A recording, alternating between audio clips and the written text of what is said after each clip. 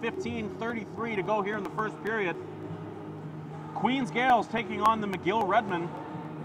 An early season tilt between the two rivals. As this is the first regular season contest for both teams. He goes cross ice and it's intercepted.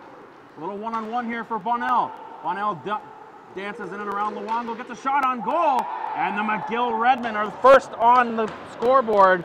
This number nine, Lesueur, the goal scorer, shoots it just wide, and this is Lebrecq.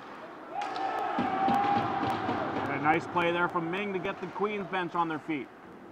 He's going to skate around, try to go for the wraparound, sees a streaking Grant, and it's on goal, and it's in! Corey Bureau answers the bell. Gaels tie it up on a great team play there from the Queens Gaels. Finish leaves it. And it goes to Cocciamiglio. Back to Luongo, gets a shot on net, and it's bouncing around.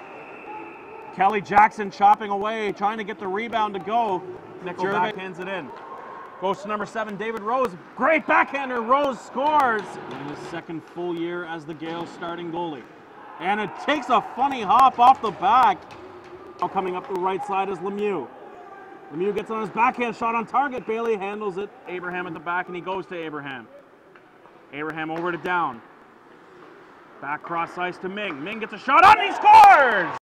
What a great shot there, and the Gaels are back in it. Number 12, Eric Ming former Niagara Ice Dog with a great shot showing off his precision there, goes top right corner. It's McGillis. Clean shot, scores! And it's number 26, Tyler Moore, the fourth year from Winnipeg, Manitoba, evens the score. Gaels two for two on the power play. Great puck movement there by the Gaels capped off by a great shot by Moore. Gervais Chouinard can't do much about that. Left out to dry by the McGill penalty kill. And we are all knotted up at three. Advance into the Queen zone. Lebrecq with a shot on goal and he scores!